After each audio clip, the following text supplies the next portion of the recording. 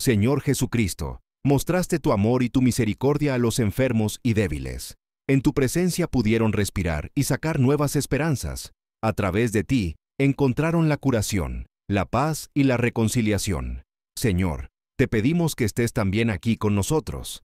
Haz que sintamos tu mano de bendición y concédenos tu salvación. Danos paciencia y fuerza para superar este tiempo.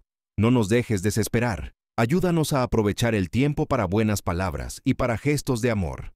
Abre nuestros corazones y nuestros ojos a tus milagros. Que Dios nuestro Señor nos bendiga y nos guarde por su Hijo Jesucristo, en la fuerza del Espíritu Santo. Amén. En el fondo, ya tengo la confianza de que Dios ayudará.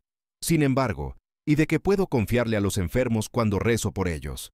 A menudo no puedo hacer nada por mí misma y tengo que dejárselo a Él y pedírselo.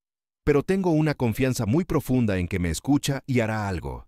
No puedo decir qué, no puedo decirle lo que tiene que hacer, pero tengo esta confianza en mí, para mí personalmente, pero también para la persona por la que rezo. Ten también esta confianza. Por favor, apoye nuestro canal. Me gusta, comparte y suscríbete. Muchas gracias.